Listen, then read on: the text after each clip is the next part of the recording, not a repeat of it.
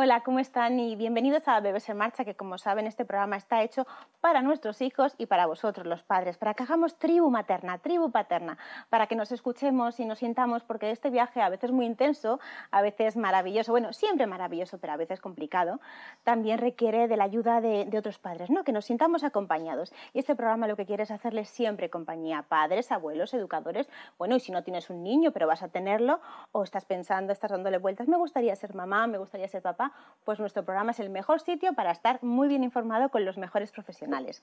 Y para que podamos escucharnos, para que nos pongamos cara y pongamos voz y también podamos escribirnos mutuamente, os invito, si les apetecen, a las redes sociales, tanto las del programa como las mías personales. Siempre estamos 24 horas para atenderles. Y bueno, una de las mm, personas que más nos han escrito en el programa, que querían ver y que querían repetir y escuchar es Laura Perales. Laura Perales, eres psicóloga perinatal y además la directora de la web, ¿cómo es tu web? crianzaautorregulada.com. Y con Laura hoy vamos a hablar de un tema que es real, que no es el más agradable, pero muchos padres en momentos de la vida a veces el amor se acaba y tenemos bueno, que separarnos de una manera, lo mejor, la manera más cordial, pero no siempre es así, a veces mm. no, no, se puede separar y los que más sufren son los niños. Entonces vamos a hablar cómo, cómo cuidar a esos bebés y a esos niños en una situación extrema como puede ser una separación complicada y también bueno, que nos des unas pautas para cuando unos padres deciden tomar el paso de separarse de la pareja, nunca de los niños, pues hacerlo del mejor modo. Laura, sí que vamos a hablar de ello, pero hay un post que escribiste hace poco en redes sociales que ha sido muy comentado, muy seguido y además que habla de algo que se está, bueno, pues a veces concediendo de una manera eh, obligatoria y totalmente lo están, bueno, hay jueces que yo a veces pienso que no, no piensan en el niño, no sienten la empatía con ese bebé, que es la, la custodia compartida. Mm, Háblanos de ella. Sí, es la custodia compartida impuesta. Eh, realmente se debería mirar cada caso porque no es que tengan que estar con uno ni con otro, hay casos, evidentemente, cara a la biología, están bien con la madre, eh, ahora, ahora voy a hablar de ello, pero hay veces que pues la madre pues no es una persona que, que, sea la idónea para estar con los niños, entonces lo que habría que ver... los casos mínimos. Claro, eso es, pero habría que ver cada caso. Por supuesto. Teniendo en cuenta esos casos donde mm. la madre no es la persona idónea por sus circunstancias personales o mm, que no nos vamos a juzgar, generalmente por qué es tan importante que el bebé y el niño esté con la madre. Eso es, es lo que te decías a nivel biológico, esto va más allá de opiniones. O sea, el, bebé mm, viene preparado biológicamente para que ocurran una serie de cosas que si no pasan, pues luego tienen consecuencias. Y una de ellas, la más importante quizá, es que eh, viene preparado para estar junto al cuerpo en el que ha estado durante el, durante el embarazo. Eso es y pues en base a eso pues se va a desarrollar su cerebro, se va a desarrollar su estructura mm, del yo, su psique mm, y un montón de, cosas. Con lo cual las custodias compartidas impuestas que se, se, estilan ahora, igual que hace unos años, pues en nuestra generación era se, se, le da a la madre por sistema, pues ahora custodia compartida impuesta. Y realmente no se ve, no se ve cada caso específico. Pues hacen bastante daño. Además, ¿Qué pensando, tipo de daño hacen en un niño? Además es que se hacen pensando en el, en el derecho del, del, padre y aquí es que tenemos que olvidarnos de los adultos. O sea, estamos hablando de lo, de lo, mejor para los niños que son los primeros en los que deberíamos pensar en estas situaciones, claro. Y olvidarnos de nuestros privilegios y nuestros derechos, que bueno, pueden estar ahí, pero, pero a ver, lo primero es lo primero. ¿Y qué puede pasar? Me decías. Pues un montón de cosas. Eh, pues desde que esa formación del yo depende de la cercanía con el, con el cuerpo de la mamá, que luego el padre, evidentemente, pues lo suyo es que sea una persona corresponsable, si hay padre, que también partimos de que hay muchos tipos de familias, ¿no? pero pues eh, como suplemento, ¿no? digamos, como ayuda para la madre, para, o más bien corresponsabilidad, no ayuda, porque hace lo que tiene que hacer, eh, para estar ahí, para sostenerla, para apoyarla, para que ella esté lo más descansada posible. Esa es la función del padre en los primeros años del niño. Luego ya, pues cuando crece ya hablamos de otras cosas.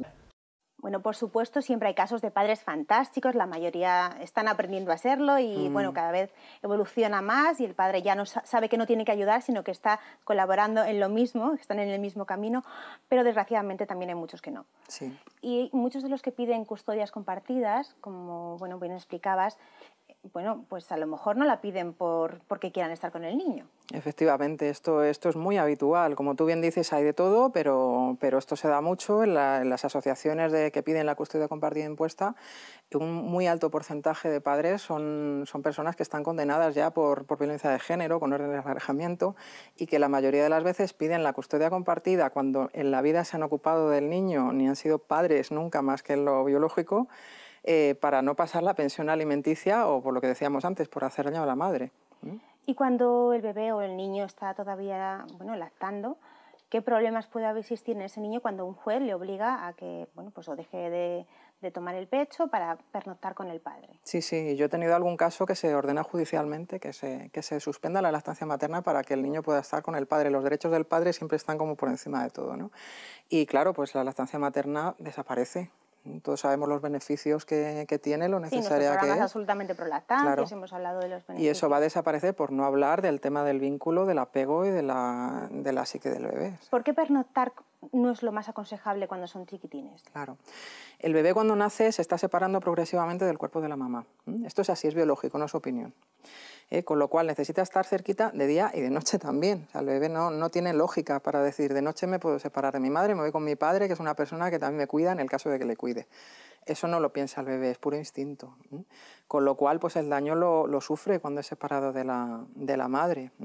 Y de hecho luego la demanda con muchísima más intensidad, que es otra cosa que pasa con la custodia compartida impuesta, y se dice que la madre le está haciendo dependiente cuando está mismamente siendo provocado por esa, por esa separación. Claro. Eh, hay un informe que se puede consultar que está muy bien documentado con estudios, etcétera, que está elaborado por varios psiquiatras y especialistas en psicopatología. Es un informe de la Asociación eh, Custodia en Positivo, que es contraria a la custodia compartida impuesta y es partidaria de ver cada, cada caso, ¿no? Y ahí se detalla muy bien. Se detalla cómo la custodia compartida impuesta, para empezar el, informe, el título del informe es La residencia alterna en niños menores de 6 años, imagínate que ya ni siquiera 3, 4 años, ¿eh? 6 años, una situación de alto riesgo psicológico, ese es el título del informe. Y hablan de depresión crónica, de ansiedad crónica, de trastornos del apego en forma de apego inseguro desorganizado, que es casi el, el peor de todos, que se corresponde con situaciones de maltrato. Esto le pasa a niños en situaciones de maltrato. Eh, de problemas de sueño, de aparición de problemas de piel como pueden ser eczemas, agresividad, rechazo de, la figura paterna que luego lo transforman, claro, que luego lo transforman en el inexistente síndrome de alienación parental. Eh, en fin, infinidad de, cosas, bueno, necesidad de control del niño, porque claro, se ve inseguro, no, no sabe qué está pasando y, necesita un control exacerbado ¿no? del asunto. Le afecta a la escuela, le afecta a todo en general. Hablábamos de ese síndrome. Sí. Háblanos del síndrome de alineación parental. Sí, sí, sí. Bueno, este síndrome, entre comillas, porque no existe, vale.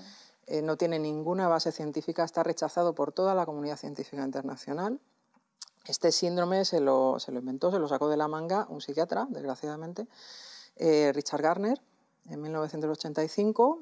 Eh, se lo inventa pues porque él, él, mismo era pedrasta, reconocido además. Hablaba de que los violadores y los pederastas eh, lo que vivían simplemente era una variación de la sexualidad, así lo definía. Bueno, estamos hablando de que un síndrome que encima no existe, mm, inventado por un pederasta. Por un pederasta. Lo digo para cuando los jueces o abogados se les llena la boca de esta palabra y lo utilizan sí, tristemente. contra la madre. Sí, siempre contra la madre. Es muy curioso que contra el padre nunca pasa. Siempre es la madre la que le come la cabeza al niño para, para que esté en contra del padre. Es muy curioso, ¿verdad?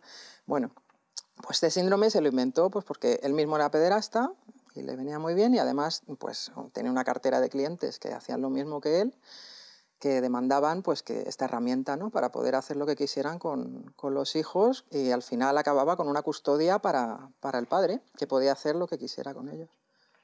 Y estamos hablando de que ese síndrome lo están utilizando jueces y abogados. Eh, ¿Qué quieren por, por, qué no existe ese síndrome? Es que no está contrastado. No, no, se ha demostrado que no hay ninguna base científica para, para ello y en lo que se basan es en que la madre Mm, pues, manipula, al niño y, hace que, se ponga en contra del padre y son situaciones pues, de maltrato por parte del padre, violencia de género, de abuso sexual, que evidentemente el niño va a rechazar al padre, o las custodias compartidas impuestas que te comentaba antes, que es uno de los síntomas que se detalla que está contrastado en este informe que te decía. Como tenemos muy poquito tiempo, eh, queríamos hablar también como psicóloga, ¿cómo puedes explicar por qué un maltratador nunca puede ser un buen padre? Sí. Pues un maltratador, para empezar, es una persona que necesitaría asistencia psicológica. Entonces ya hay un grado de violencia y además, sobre todo, hay una, tendencia a intentar dañar a la madre, que mediante ello pues, puede utilizar a los niños como vía para, hacerle daño. O sea, tenemos el último conducto que tienen para sostener a la madre. Eh. Tenemos casos muy recientes y, múltiples. Hace poco en Castellón, dos niñas. Dos niñas de 3 y 6 años y además es que el padre antes de eso, que esto lo suelen hacer, amenaza a la madre y le dice que, va a dejar, que le va a hacer daño donde más le duele, que se despida de sus hijas. La madre denuncia, la ignoran, nadie les protege y al final pues la obligan a que se vayan con el, con el padre y al final pues las ha matado. Ya tenemos otros dos casos más, de muchos. Laura, gracias, porque creo que es muy importante que también los padres no solo pensemos en lo bonito de la maternidad y paternidad, sino que prioricemos a los niños, que les tengamos siempre en mente. Mm. Desde aquí recordamos el teléfono 016 para todas las mujeres que, sienten y que son víctimas de malos tratos. Por supuesto, hay salida, aunque a veces, desgraciadamente, pues tenemos que contar casos que, no los hay. Entonces, pedimos ayuda tanto a los padres, al resto de las familias y, escuchémonos un poquito. Y, si sientes que en este momento estás en eh, pues una situación de riesgo, pide siempre ayuda al 016. Laura, gracias. Me parece muy importante como, como nos lo has explicado. Todo deriva de un, de un post que pusiste en redes sociales, que has explicado cómo no existe el síndrome de alineación parental y que pongamos sobre todo a los niños delante. Gracias. Gracias a vosotros.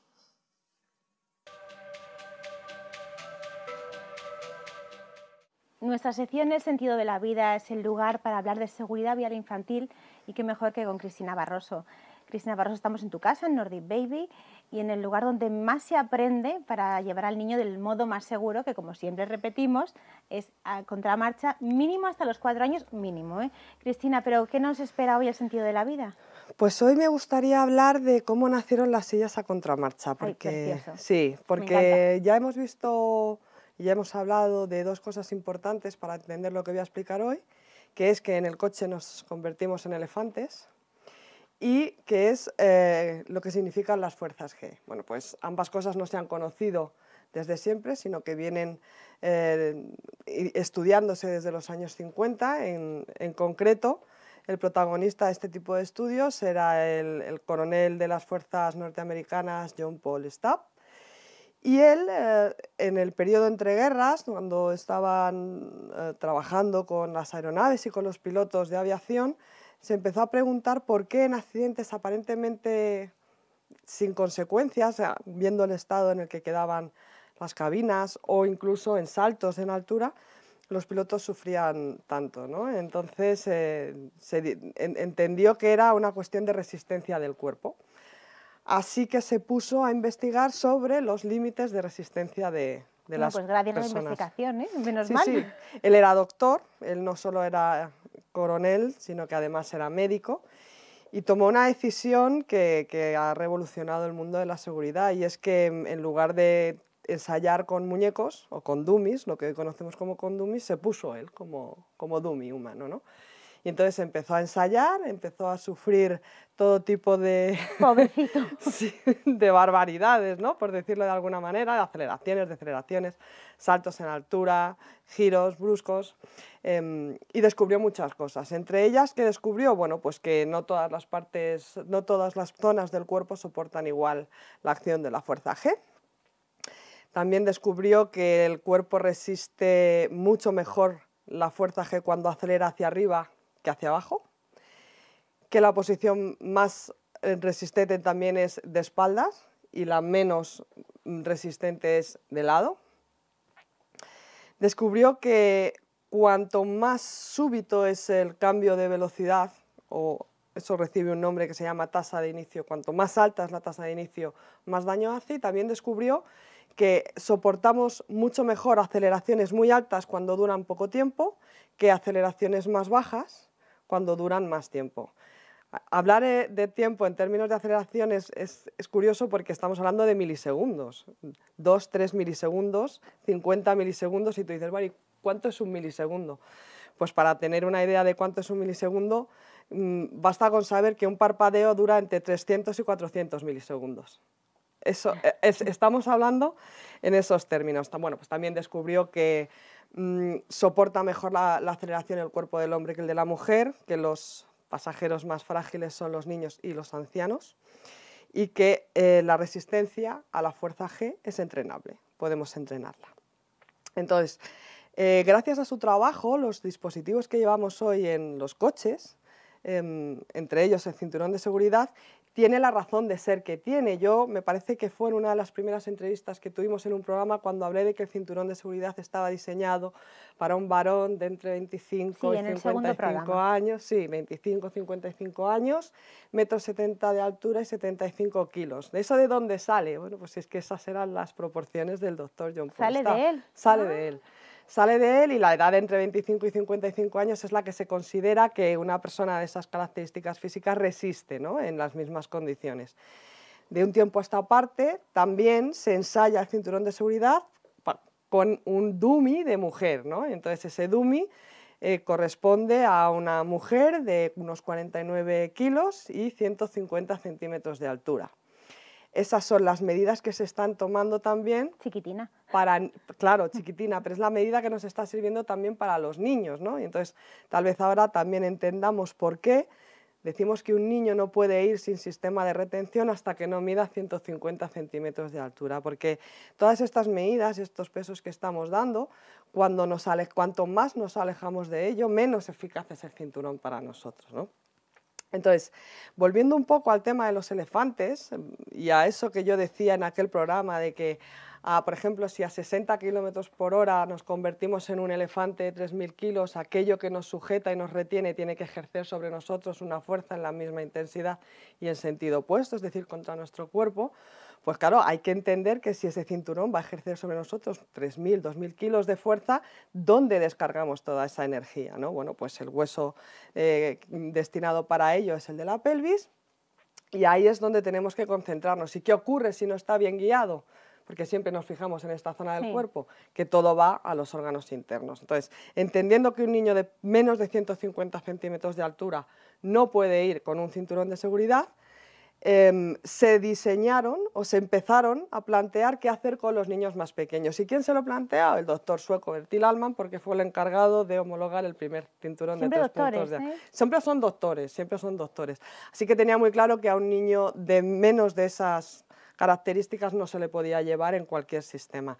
Y ahí se encontraron con un problema, y es que todo lo que había hecho John Paul Stab no se podía hacer con niños. Es decir, uno no se puede poner con un niño vivo a experimentar. claro y por razones éticas con cadáveres tampoco. Entonces no conocemos, ni en aquel momento ni ahora, los límites de resistencia de niños. Hay algún tipo de experimentación, pero siempre estamos hablando de eh, impactos de bajísima intensidad y en edades superiores a 4 o 5 años. ¿no? Y estamos hablando de ensayos estáticos en el que tiras del cinturón para ver un poco cómo reacciona el cuerpo, pero en realidad, en lo que a niños se refiere, estamos completamente a ciegas. Siendo esto así, el doctor Bertil Alman recurrió a la investigación del doctor John Paul Staff de décadas atrás y eh, se fijó en cómo amerizaban la primera misión Gemini que, que, se mm, lanzó en 1964 y vio que amerizaban con los asientos. Los astronautas, ¿no? Eso es, girados.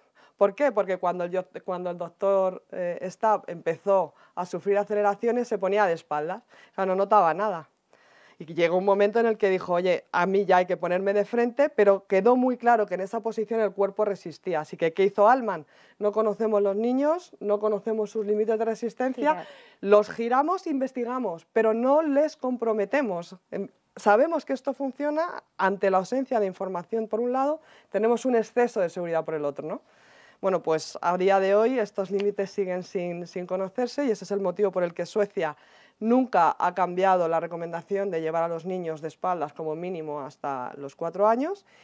Y mm, todo aquel que en calidad de experto, en calidad de revista del motor, en calidad de ranking afirme la supremacía de un dispositivo de frente a la marcha y prometa a los padres una seguridad, eh, ya sea la silla con arnés o con escudo y bueno, pues lo podrá hacer dando su palabra de honor, pero nunca con la ciencia en la mano porque no hay evidencia científica de que los dispositivos a favor de la marcha puedan ofrecer algún tipo de seguridad. En cambio, si la hay, cuando los niños van al revés, a contramarcha. Eso es. si, ¿A contramarcha hasta qué altura y hasta cuánto peso? A contramarcha el mayor tiempo posible, mientras que el dispositivo no esté limitado por peso o por altura. ¿Qué altura o qué peso? Bueno, pues eh, más allá de los 25 kilos no podremos llevar a un niño contramarcha en un sistema homologado, más allá de los 135 centímetros tampoco.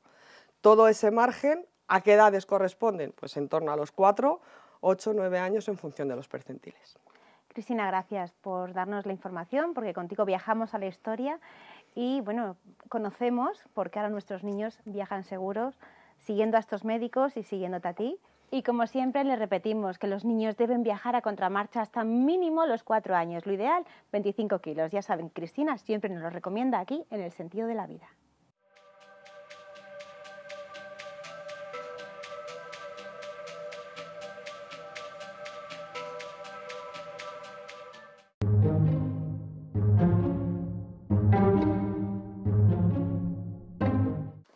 Creo que una de las mayores preocupaciones que tenemos los padres es dar a los niños lo mejor que podamos, ¿no? Siempre a lo mejor nos pasamos incluso y estamos obsesionados porque los niños sean bilingües, hablen chino, eh, hagan matemáticas, sepan los números y casi son bebés. Dejemos un poco que los niños sean libres, que hagan lo que quieran, que jueguen. Y si de una manera natural, a través del juego, pues los niños pueden aprender el idioma, el inglés o cualquier otro idioma, pues mejor porque a través de su desarrollo es el mejor momento para, para aprender. Y para que nos explique cómo un niño puede ser bilingüe de manera natural y para jugando sobre todo, tenemos con nosotros a Marina Molares y sobre todo a Yago, que es el protagonista que tenemos hoy en nuestra sección. Marina, bienvenida. Muchas gracias, Diana. Marina, tú diriges la casita de inglés, que es un centro para que los niños jueguen en inglés y aprendan a través de... jugando a, pues a través de la música, las manualidades, yoga, hacemos cocina, hacemos arte, todo tipo de actividades creativas y divertidas para que los niños aprendan jugando y con profesores siempre nativos. Y además, bueno, tú eres nativa, pues explícanos un poco tu situación. Yo soy bilingüe 100% porque mi madre es de California y mi padre es español. Entonces yo me he criado en una familia internacional bilingüe eh, que consiste básicamente en que un padre o madre habla en un idioma al niño, se dirige en un idioma. Siempre, siempre. Siempre en el mismo idioma y el otro en el otro idioma, para que de alguna manera el niño... Déjale suelto, no pasa nada, que haga lo que quiera. Yago, si está con nosotros bien, lo que él quiera, ¿vale? ¿Quieres un cuento, Yago? Toma. ¿Te doy el cuento? ¿Quieres con mami? ¿Quiere mami? Pues mami. ¿Qué el niño de esta manera relaciona a su madre con el inglés y a su padre con el español, como es el caso de mis hijos también, porque nosotros estamos haciendo... De Yago y de que hoy en está en el cole está en el cole y Yago pues todavía no. Él va a los playgroups de la casita de inglés, que son para uno y dos años, pero lo que hacemos es básicamente en casa mi marido les habla en español y yo les hablo en inglés. De esta manera están desarrollando los dos idiomas a la vez. ¿Por qué es importante que aprendan un segundo idioma o incluso un tercero a estas edades tan tempranas? ¿Qué diferencia hay entre aprenderlo de bebé a aprenderlo de modo adulto? Pues básicamente para aprender un idioma hay dos campos, el léxico y el fonético. El léxico son las palabras. Tú puedes aprender un idioma, puedes aprender perfectamente eh, un idioma toda la vida. Puedes aprender palabras hasta cuando seas muy mayor. Nunca hay un límite para aprender palabras pero el fonético se va atrofiando con los años. Cuando son pequeños son como esponjas y pueden aprender, pueden absorber hasta 800 fonemas, es decir, o sea, todos los fonemas mundiales que existen en todos los idiomas Nos del quiere mundo. cambiar el decorado, Yago. ¡Ay, Yago, las luces! Es que Yago va a ser técnico también, ¿verdad? No pasa nada, Yago. Entonces van pasando los años y digamos que que la capacidad de una persona para poder absorber y poder pronunciar esos fonemas va desapareciendo. Con lo cual tú ya sabes Por eso cuesta tanto quitar el acento cuando aprendemos de mayores. Exacto. es imposible. una vez que ya has cumplido alrededor de 16, 18 años, puedes aprender un idioma perfectamente y puedes hablarlo perfectamente, pero el acento siempre va a ser pues en este caso español. Y cuando pues, los padres, los dos padres son, son españoles y no, no hablan inglés, ¿es, ¿es, conveniente que un padre que sabe hablar inglés pero que no es nativo le hable a esa Pues yo lo veo muchas veces en el parque y tampoco tengo, no tengo tan claro si está tan bien o no, porque yo veo que algunos padres no tienen la soltura que, que tienes con el idioma materno. Cuanta más exposición a un segundo idioma, mejor, no importa que sea español. Si después le puedes reforzar en casa con, no sé si podéis ver dibujos que, que los pongan en inglés, o si hay los libros que, que hay audiolibros también que, que sean en inglés, siempre intentar exponer al máximo una segunda lengua porque cuanto antes empiece mejor. Entonces, yo creo que los padres, si pueden hacer el esfuerzo de intentar hablarles en inglés, también está muy bien. Lo que no está tan bien, quizá, sea el ir cambiando un ratito en español y un ratito en inglés, porque lo que les gusta es relacionar a cada persona con un idioma. ¿Y desde qué edad se puede ir a jugar en inglés? Por supuesto, siempre con los papás y siempre que el niño quiera y le apetezca y sea un ambiente feliz. ¿Desde qué edad? En la casita de inglés desde un año. Hemos decidido... La casita de inglés está en Madrid, pero si las personas que nos ven, porque yo sé que nos ven en todas partes del mundo, pueden buscar algo parecido cerca de su casa, ¿no? A jugar en inglés desde bien Jugar en inglés desde chiquititos. Y así ellos van a ir interiorizando la lengua de una manera natural, como aprenden el español o cualquier idioma nativo, pues un segundo idioma siempre se tiene que aprender a través del juego. ¿Tú cómo lo ves con tus hijos? Cuando hay algo que dices, bueno, pues hay pros y contras también del bilingüismo. El único contra que podría existir eh, en el bilingüismo, en niños bilingües, es que mm, al principio, el primer, primeros años, puede que tengan menos vocabulario en cada uno de los dos idiomas, es decir, un niño bilingüe no tiene a lo mejor tanto vocabulario como un niño monolingüe, y un niño español puede tener un número determinado de, vocabulario. Pero si sumas las palabras que saben en inglés y en español, tiene un, vocabulario más amplio que un niño monolingüe. Y luego esto se va, se va corrigiendo con el tiempo y un niño a lo mejor de 6, 7 años puede tener un vocabulario el doble de amplio que un niño monolingüe. Porque es importante que aprendan desde chiquitines. Desde, desde, bueno, yo creo que tú me contabas que desde la tripa. Sí, yo siempre les he hablado en inglés desde antes de nacer porque creo que es importante que ellos estén, expuestos a los dos idiomas porque les va a ayudar en la vida en muchas cosas. Culturalmente, pues para poder eh, viajar por el mundo y relacionarse con más personas. Les ayuda en el desarrollo eh, de su memoria, porque la memoria se convierte en, un músculo mucho, o sea, el cerebro se convierte en un, músculo mucho más flexible y, em, desarrollas más materia blanca porque mm, además tienes la capacidad de ir cambiando de un idioma a, otro. y, esto les da más flexibilidad y, más, y además está demostrado científicamente que esto ayuda a las personas más adelante a poder tomar mejores decisiones, eh, poder hacer multitasking, multitareas, porque estás cambiando de chip. De un lado a otro, porque son capaces de, de, hablar en un idioma o en otro. Bueno, yo creo que hoy Yago no tiene ganas de hablar, pues le dejamos. Yo, yo doy fe de que Yago entiende perfectamente los dos idiomas te dejo con los cuentos si le apetece y yo creo que ya dejamos a Yago que, que sí, estos son simplemente eh, algunas ideas de lo que se puede hacer en casa para reforzar. Uy, que Yago ya quiere el micro. Es que es muy llamativo, ¿verdad? Serían pues palabras que puedes ir enseñándole desde chiquitito. What's this? You want to say it? No quiere, tiene sueño, pues no pasa nada. Pues Marina, muchísimas gracias. Yo creo que, bueno, pues como todos en casa queremos dar a nuestros hijos lo que podamos dentro de nuestras posibilidades y sobre todo desde el amor y la libertad y dejando al niño que juegue libre. Y bueno, pues te doy las gracias, Yago, por venir. Yo creo que te quieres ir ya a casita, así que no pasa nada. Y Marina, gracias, directora de la casita de inglés, porque bueno, aprender jugando siempre es una aventura muy divertida.